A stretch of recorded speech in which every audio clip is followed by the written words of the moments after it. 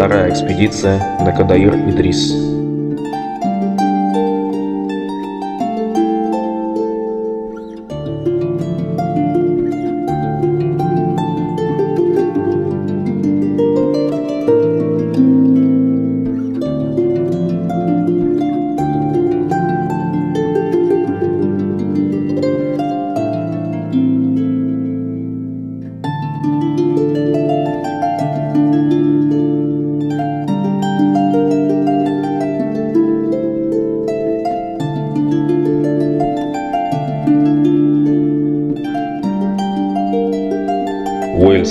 Загадочный край легенд и сказаний о короле Артуре, таинственных черных псах, драконах и невероятных проделках хитрых великанов.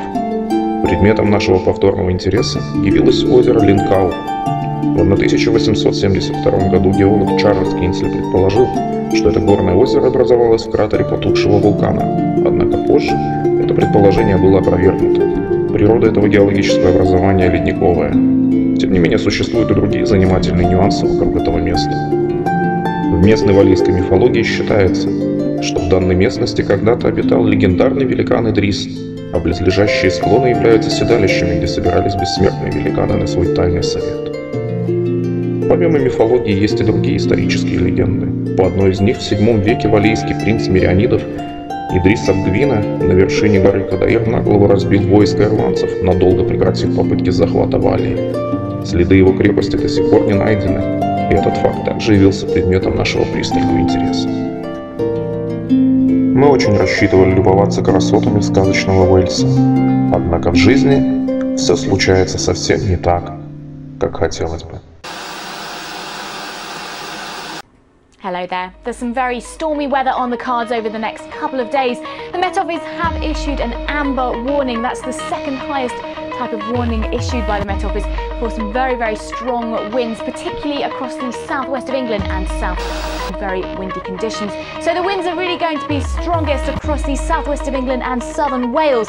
Spiraling around the area of low pressure is not just going to be windy, but it's going to be pretty wet too over the next 48 hours or so.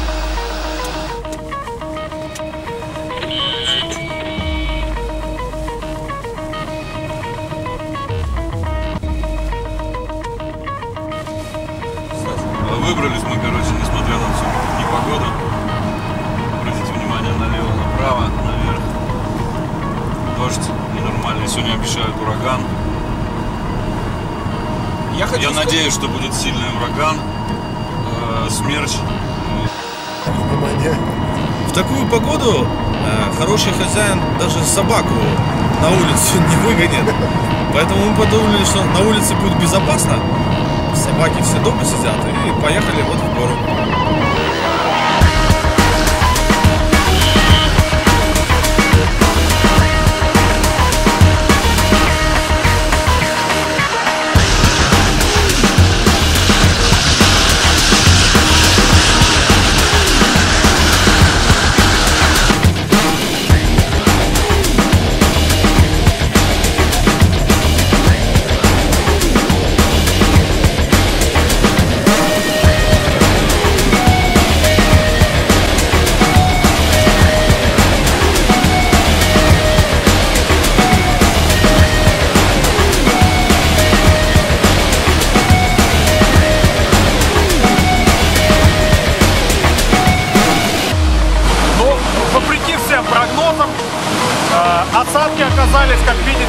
Намного больше.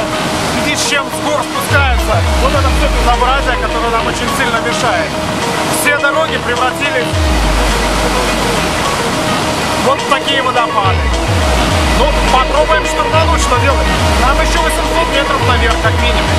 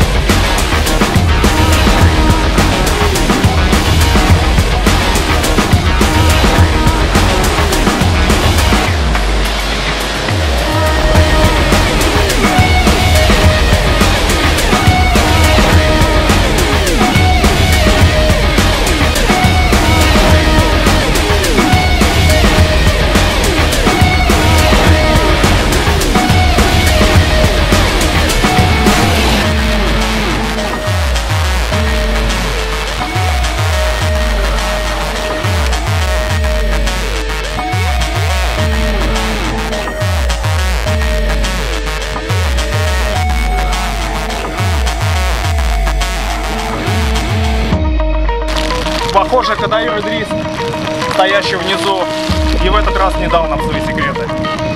Ужасная непогода, штормовое предупреждение. Ледяной ветер просто с проливным дождем. Мы насквозь все мокрые. Три с половиной часа перехода.